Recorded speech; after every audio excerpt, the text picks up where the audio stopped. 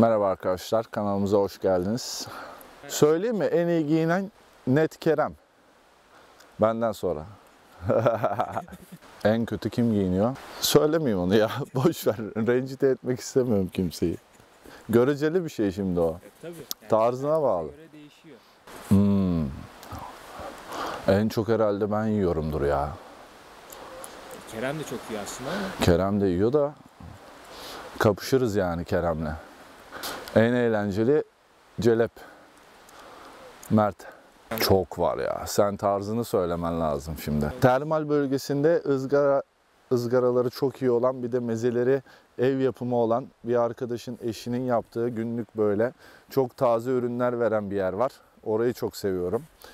Ondan sonra Teşvikiye tarafında çok sevdiğim bir yer var. Hatta lahmacunda bugüne kadar yediğim ilk üçe girer. Net. Sonrasında bir de yine termal bölgesinde bir tane İtalyan restoranı var. Hakikaten Yalova'dayken hiç böyle bir beklentim yoktu ama o restorana gittikten sonra bayağı güzel lezzetler tattım yani. Orayı da çok seviyorum. Doğa kesinlikle. Ya bir kere şu var.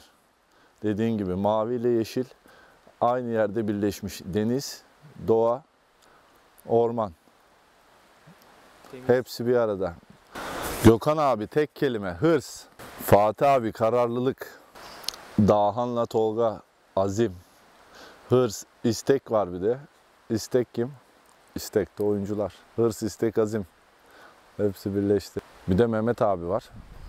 O da daha yeni katıldı aramıza ama ben onu çok küçüklükten tanıyorum.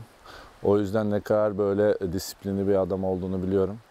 Bence e, disiplin Mehmet abi, Fatih abi kararlılık, Gökhan abi hırs, Dahan ve Tolga istek ve azim. Kardeşim vallahi ben sana şöyle bir şey söylemek istiyorum bu konuyla alakalı. Ben buraya geldiğimde kesinlikle böyle bir taraftar desteği olacağından haberim yoktu. İlk maça çıktığımda çok şaşırmıştım. Yılmadan bıkmadan destekliyorlar, geliyorlar bütün maçlarımıza. Zaten bizim en büyük motivasyon kaynağımız onların bizim maçlarımıza gelmesi, orada bize destek olması. İyi günde kötü günde fark etmez. En büyük etkenlerden bir tanesi bizim taraftarımız. O yüzden e, o konuda çok mutluyum buradan yani. Boğmak Kalep vardı. Boyan Bogdanovic vardı. Boyan Bogdanovic, Boğmak Kalep, Mike Batist, e, Ömer Onan vardı. Tabii 5 oldu işte. Emir Prezic'ler hepsiyle beraber oynadığımız dönem oldu ama genelde benim oynadığım 5 öyleydi yani. Dışında da dahil mi? Dışında da daha Doğa dışında dahilse ben her yeni bir yer keşfettiğimde doğanın içinde eee, acayip heyecanlanıyorum. Yani tekrar dünyaya yeniden gelmiş gibi oluyorum.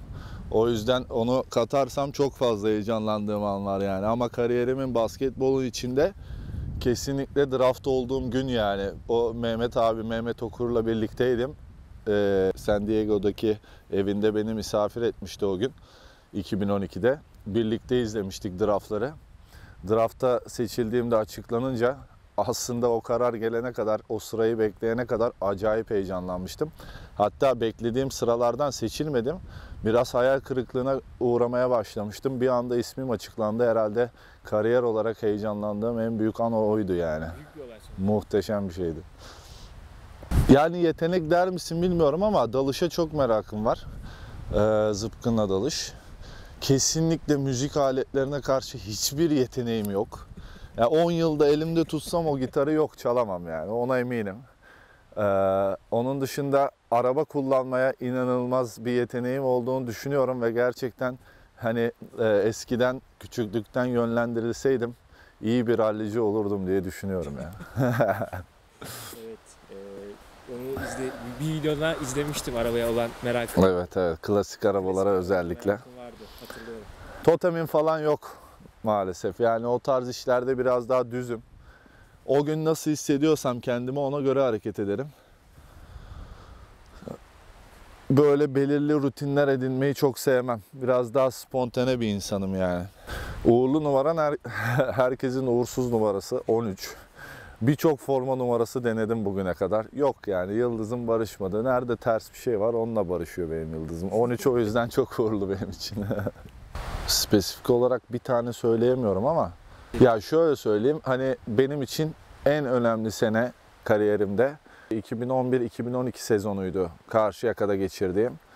Ee, o sezonu çok iyi geçirdim. Genelde muhtemelen en iyi maçlarım da o sezonda olabilir. Ee, ondan sonra Fener yıllarında da var tabii Euroleague'de ama orada çok daha performanslı maçlarım vardı. Süre olarak da çünkü çok fazla oynuyordum.